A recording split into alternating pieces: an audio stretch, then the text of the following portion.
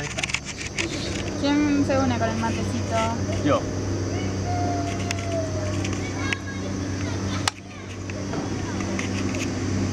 Sí, gaucho. Miren esta pinta tan gaucho. Re gaucho.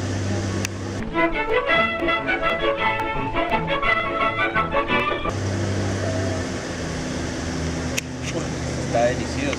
¿Te gusta el lavado their mate or tea. Ya.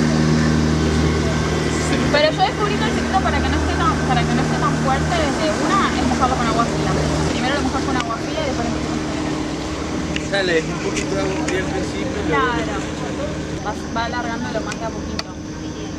Y te dura más el.